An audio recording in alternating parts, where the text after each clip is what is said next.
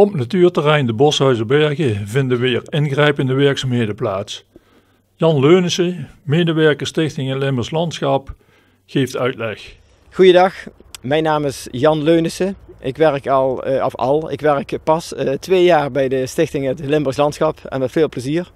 En uh, we staan op dit moment in natuurgebied de Boshuizerbergen bij Venraai. De Boshuizerbergen is een groot gebied met uh, stuifzanden, uh, naaldbossen uh, en heideterreinen. Maar het heeft ook een, een laagte en daar staan we nu. En deze laagte is gevormd door de Maas. dus het is een oude Maasmeander.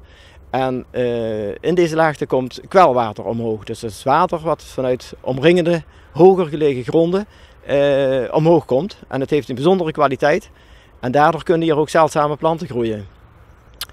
Op dit moment zijn er uh, machines in het terrein actief.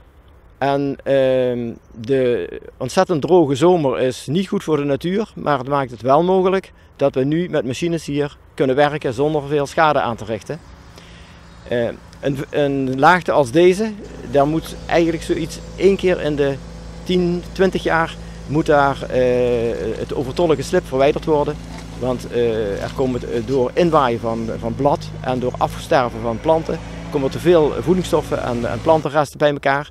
En uh, als we dat niet weghalen, dan wordt het eh, te voedselrijk en dan verdwijnen uh, de planten die juist van die voedselarme omstandigheden houden.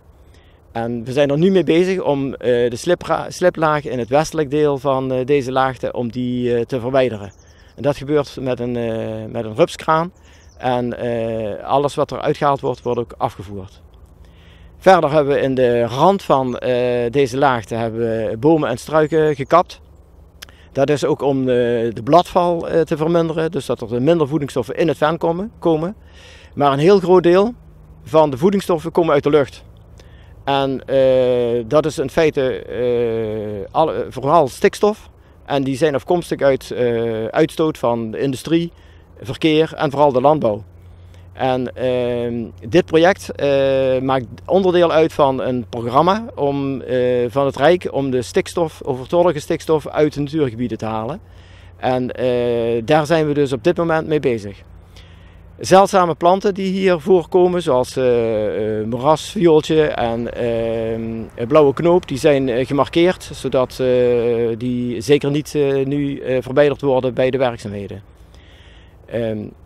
Vervolgens uh, hopen we dat we weer voldoende uh, grond en regenwater krijgen, zodat het, uh, deze laagte zich weer gaat vullen. En dan ja, een, een, een, geweldige nieuwe voeding, een geweldige nieuwe groeiplaats wordt weer voor nog meer zeldzame planten in dit gebied.